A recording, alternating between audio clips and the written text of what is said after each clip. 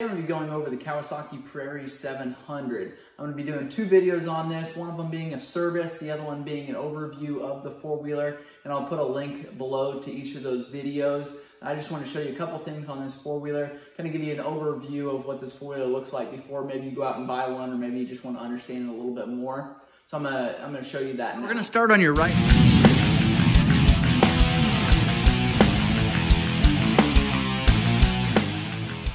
On your right hand side here, we've got a belt system underneath of this clutch cover here. We've got uh, your primary clutch up here. We've got your secondary clutch back here. This uh, Kawasaki Prairie has what they call the Kawasaki engine brake control, which is a KEBC. And you'll see that on the side of your four-wheeler here. A couple other places It talks about a little bit in your manual there.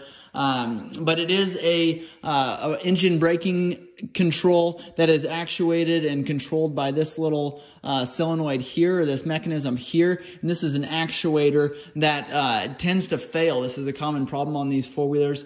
Also, the other thing that these actuators uh, periodically will um, need reset, you got to, you can find a lot of those instruction on how to reset those. I think I have a couple of those videos. Check my channel for those, but it's something you've got to reset periodically, and that is when you need to service your four-wheeler, or if that belt actually trips that solenoid or that actuator, it's going to need to be reset. On your right hand side here is your fuel petcock. You've got on, off, and reserve. So three different settings there. This is an intake boot that runs down to your clutch cover there. Underneath there, you've got a sensor. You've got your rear output boot uh, right behind your clutch cover there.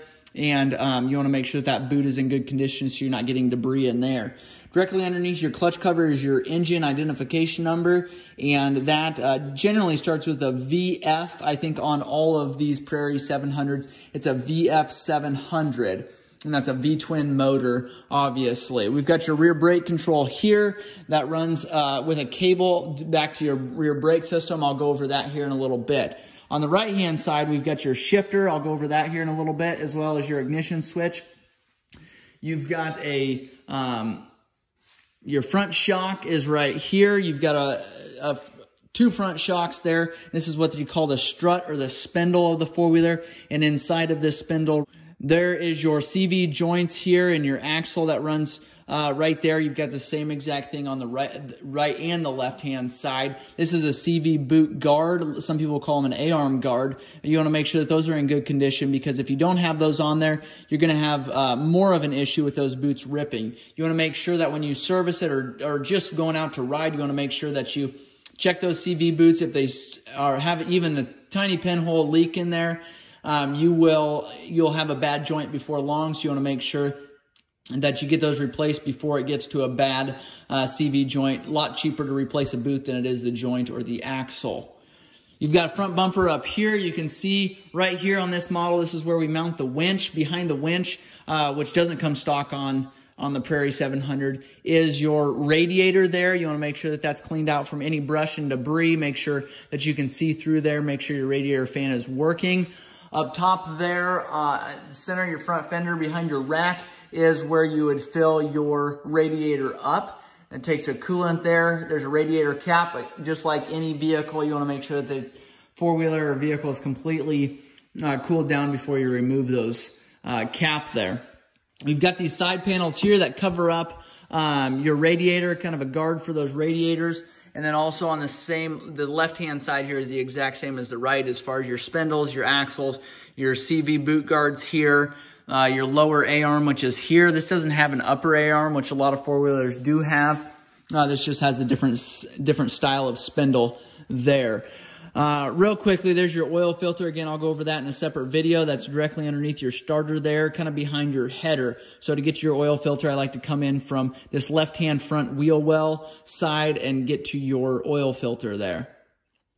Right underneath there is your spark plug. Again, going to go over that and what those specs are uh, on a separate video. You've got an auxiliary plug up here to the left of your uh, rack here, kind of in front of your air filter there, is an auxiliary plug. That's good for cell phone charger or spotlight, any kind of power equipment. If you've got a sprayer on there, uh, you can run it off of that auxiliary cord.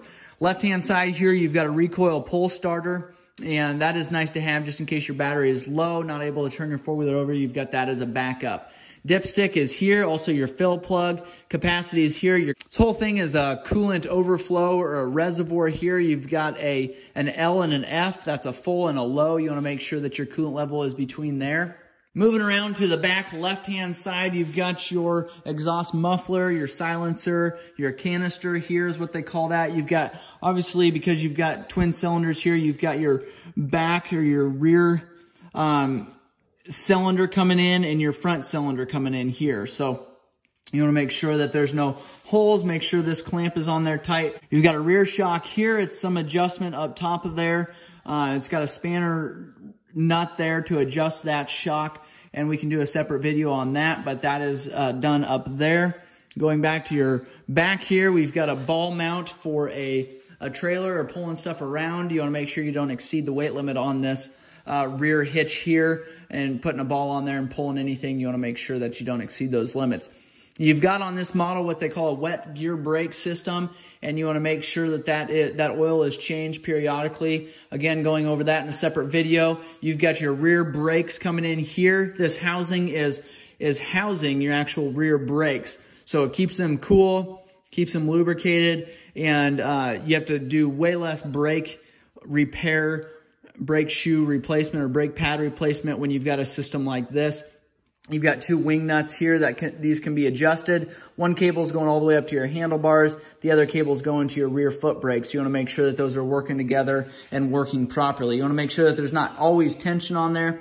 If there is, you're going to have your brakes constantly be rubbing and your brake pads there are going to wear down a whole lot quicker. You've got a solid rear axle here. Again, no brakes or discs on the actual axle itself, which is kind of nice. Get that out of the, the water and any kind of sand and stuff can't get in there because it's housed in that rear differential housing. We've got back here a, a tail light, a brake light system here. And then beside that is your regulator rectifier. This is a common problem on any ATV or motorcycle. These regulator rectifiers go bad. What happens then is your battery isn't getting enough voltage from your stator and uh, will drain your battery over time. The other thing that could be happening is your battery could be getting too much power. Your stator may be giving uh, your battery too much power. That'll cause some issues as well. Could cause your battery to overheat and could be a dangerous situation. So you want to make sure that that regulator rectifier is good. On this model, you've got your fuel tank under the right rear wheel here or behind that and you want to make sure that you don't have any de debris up in here that's going to cause uh, you to puncture your fuel tank. Uh, you've got a pretty heavy duty housing there around that fuel tank to protect you. But then your fill tank or your fill cap is right here above that fuel tank. You've got a 12 inch tire for the front and rear. There are different tire sizes, different rim styles. Going up on the seat here, we've got a lever over on your left-hand side behind uh, behind your seat there to pull your seat off. And underneath there, you'll find your battery, you'll find your electrical components, your starter relay there, your fuse box here, uh, your engine control here, your igniter here, and a solenoid right here. Also another solenoid here. Here, obviously, is your battery. You have your positive and your negatives here. And then underneath this cap is your uh, air filter. So unscrew this, this flathead screw, pop this cap up underneath there. Underneath there's your air filter. You've got four clips holding that on. Okay, again, on the right-hand side, we've got your shift lever here. We've got low up top, then high, then neutral, then reverse. You want to make sure that you don't move that from one position or the other without being stopped. That's important to remember. Uh, underneath your handlebars here on your front fender is going to be your ignition switch. You just have an on-off there. You've got your thumb throttle right here. You want to make sure that you've got a little bit of free play. This is maybe a little bit too much, but you don't want this always engaging. Otherwise, you're going to be um, always engaging your throttle on your four-wheeler. You've got your two-wheel drive, four-wheel drive. It's a push button. You can do that on the fly. I don't suggest doing that while you're spinning or while you're flying down the road. I like to do it in a slower, when you're driving uh, fairly slow. We've got your front brake system here. This is a hydraulic brake system. You've got uh, a cap here, two Phillips screws and hydraulic fluid underneath there. There's a sight window there that you can tell how, how full your fluid is. On the left-hand side, you've got your start button here, lights, You got off, high, and low there. You've got a on-off switch here. You want to make sure that it's in the run position or um, the one with the, the circle on it there as opposed to the X through the circle. And that's going to be in your run position. Your override here on the left-hand side is going to be a button that if you're going in reverse, you're going to be limited to speed. You can hit that override button. You've got to hold that button. And while you're going in reverse, um, it'll allow you to go much faster in reverse. Uh, as soon as you let go of that override button, your four wheel will slow down. You'll be limited again. Left hand side here, you've got your choke lever. Um, on the on the side here, you want to make sure that if you pull it completely to the outside of your four wheeler, this way here, your four wheeler is choked. If you're going down and once your four wheeler is warmed up, you want to make sure you kick that back into the off position. That's important to note there. On your left hand side, you've got a, a brake lever here, a park lever here, and a differential lock here. What this does, there's a cable that runs down to your front differential. As soon as you pull this yellow lever in, you've got differential, you've got actual four wheels spinning there. Uh, when you hit that throttle. So you want to make sure that you're not spinning again while you're doing this. Make sure you're not going down the road going fast when you pull this lever in as it is a front differential lock. Kind of a dangerous place to put there. A lot of kids will grab that instead of maybe grabbing the brakes and uh, could could cause some damage there. For your park brake there, pull this brake lever in on the left-hand side, and then at the same time, pull this little black lever in as well, and let this brake lever go. That's going to snap back into your park brake area. On your dash here, once we turn the ignition switch on, I'll show you a couple different lights here. You've got your oil light, reverse neutral belt, your reset, and your set button here. You've got a mode and a time set here.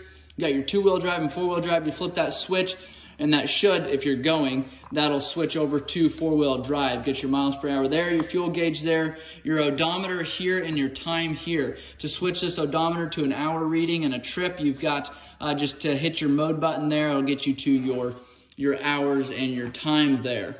Reset your belt light again. Make sure you check those videos out. You can hear it actuating uh, when you shut that four-wheeler off. That is a common uh, thing for that actuator to do. What you don't want is for three minutes later that still be actuating. That is uh, a problem. and You need to get that looked at. We've got a rear storage box here behind the seat. This is supposed to be sealed up. So if you ever have rain or uh, driving through water, this is supposed to be a sealed box. It's very protected from obviously the cap. It's got a tight fit and then the seat sits over top of it.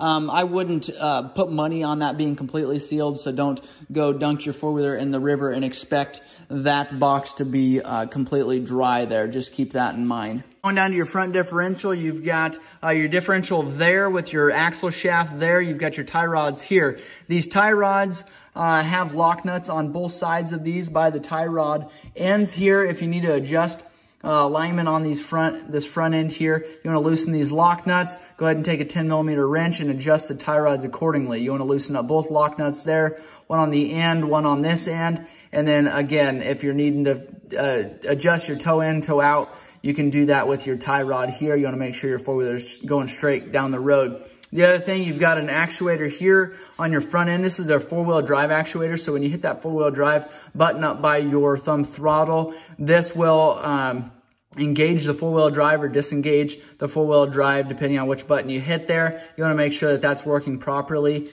Clear at the top there um, of your differential is your differential lock cable running down in there. That is a mechanical system on this. Some of them have an electrical switch. This one happens to be um, mechanical. So you've got a, your shifter that obviously is up here on the right hand side. You've got a shift tie rod here. No panels need to come off here, but if you need to adjust that shifter, there's a same thing as your front tie rod assembly. You've got a tie rod here or and a tie rod there, and that rod there can be adjusted. You do need to pull this boot here to do that. So keep that in mind if you're needing to adjust that shifter. Or if maybe it's not engaging properly or maybe it's not going back into neutral or high or low or reverse, you can adjust that, sh that shift rod there and fix that. I wanted to show you real quick where that VIN number is on the Kawasaki Prairie. I showed you where that engine number is. Right here is going to be your VIN number. So underneath your left drive axle there on the actual frame itself between the two A-arm mounting bolts here and then where you almost can't see there is uh, your VIN number. Straight in the middle there, uh, right in between those mounting bolts is your VIN number. That's a 17 digits VIN number. You want to make sure that that is visible. Make sure you know what that is when it comes to sell your four-wheeler or if there's any issues, you want to make sure you know where that VIN number is. If you've got more questions on this Kawasaki Prairie 700, make sure you reach out. Make sure you comment below. If this video has been helpful, please like and subscribe. Check out my other service videos on this Kawasaki Prairie, and thank you for watching.